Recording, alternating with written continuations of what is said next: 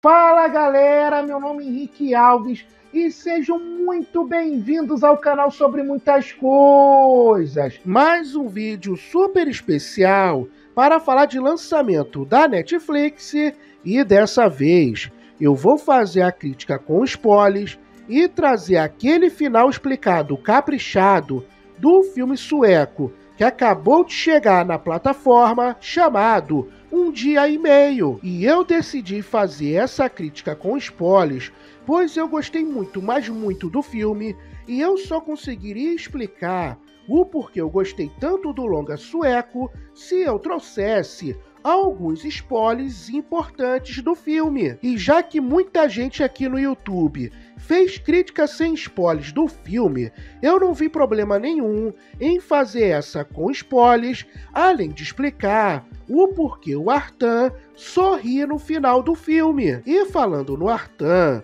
o longa, que é baseado em fatos, gira em torno de uma decisão equivocada e perigosa que o protagonista toma pois por ele ter perdido a guarda da filha e não conseguir mais ver ela e nem sua esposa, ele decide ir armado até o hospital que a sua ex-mulher trabalha. E chegando lá e não sendo atendido, ele faz sua esposa e todos os presentes de refém e logo depois ele pede para que um policial vá conversar com ele. E é quando a gente é apresentado a um policial de descendência árabe chamado Lucas. E a escolha do Lucas só tem a ver com a origem árabe dele, e um dos pontos que eu mais gostei do filme foi como ele tratou, de uma forma muito sutil e direta, a forma que os imigrantes são tratados na Suécia, pois, segundo o filme, todos são tratados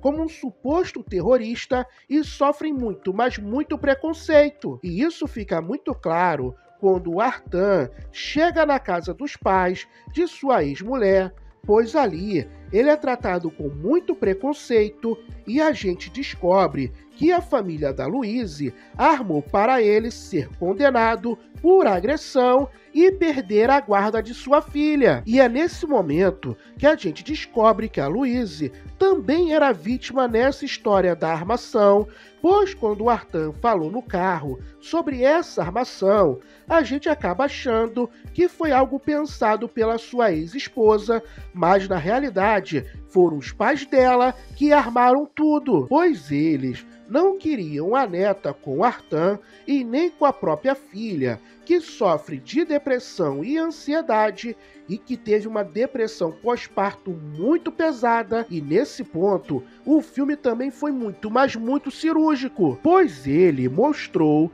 que o Artan não sabia lidar com a situação da esposa Inclusive, também tinha muito preconceito e, ao invés de ajudar a ex-esposa, afastou ela ainda mais, chegando ao ponto de trair ela fazendo que o seu casamento acabasse. E no meio disso tudo, a gente ainda foi apresentado aos dilemas que o Lucas estava vivendo, que era um casamento fracassado e uma família dividida. E é quando ele traz uma palavra-chave no filme, que é a palavra decisão, pois ali ele deixa muito claro que a nossa história é feita em boa parte pelas decisões que nós mesmos tomamos. E já lá na cena final do filme, a gente vê uma conversa muito produtiva do Artan com a Louise, onde ele diz que não tem ninguém e só tem elas, ou seja, a Luísa e sua filha, e ela também deixa claro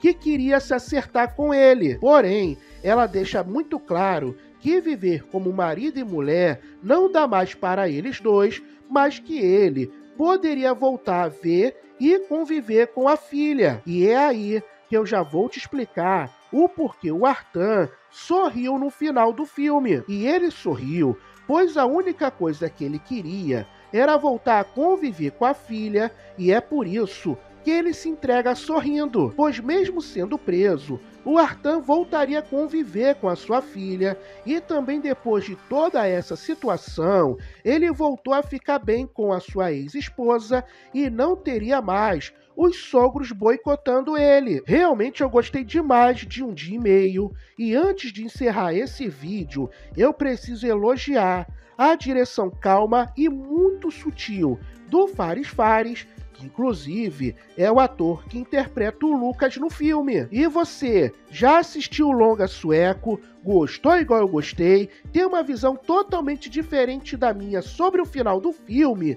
Deixa aqui nos comentários. Gostou do vídeo? Curta o vídeo, compartilhe o vídeo, isso é muito, mas muito importante para o crescimento do canal. Me siga nas redes sociais que é o arroba Henrique Alves TV um grande abraço e até o próximo vídeo. Valeu, galera. Fui!